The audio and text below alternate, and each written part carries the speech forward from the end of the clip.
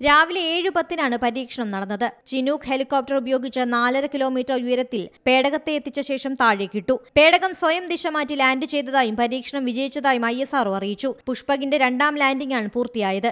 കഴിഞ്ഞ തവണ നേരെ റൺവേയുടെ ദിശയിലേക്കാണ് പേടകത്തെ ഇട്ടത്. ഇത്തവണ അല്പം വശത്തേക്ക് മാറിയാണ് പേടകത്തെ താഴെയിട്ടത് ദിശമാറ്റ സംവിധാനത്തിന്റെ കാര്യക്ഷമത ഉറപ്പുവരുത്താനായിരുന്നു ഈ മാറ്റം. കഴിഞ്ഞ വർഷം ഏപ്രിൽ രണ്ടിനാണ് ആദ്യ ആർ എൽ വി ലാൻഡിംഗ് പരീക്ഷണം നടന്നത്. പതിനൊന്ന് മാസങ്ങൾക്ക് ശേഷമാണ് രണ്ടാമത്തെ പരീക്ഷണം നടത്തിയത്. ബഹിരാകാശത്ത് നിന്ന് ഭൂമിയിലേക്ക് തിരിച്ചിറങ്ങുമ്പോൾ പല പ്രതികൂല സാഹചര്യങ്ങളെയും നേരിടേണ്ടി വന്നേക്കാം. അത്തരം സാഹചര്യങ്ങളെ കൈകാര്യം ചെയ്യാനുള്ള പരിശീലനമാണ് ഈ ലാൻഡിംഗ് പരീക്ഷണങ്ങൾ. ഈ പരീക്ഷണങ്ങൾ പൂർത്തിയാകുന്നതോടെയാണ് യഥാർത്ഥ അഗ്നി പരീക്ഷ പേടകത്തെ ശരിക്കും ബഹിരാകാശത്തേക്ക് അയക്കും. News desk Malayalam news. പുതിയ വാർത്തകളും വിശേഷങ്ങളും ഇനി വിരൽ തുമ്പിൽ എല്ലാ ഡിജിറ്റൽ പ്ലാറ്റ്ഫോമുകളിലും ഇപ്പോൾ സി മലയാളം ന്യൂസ് ലഭ്യം.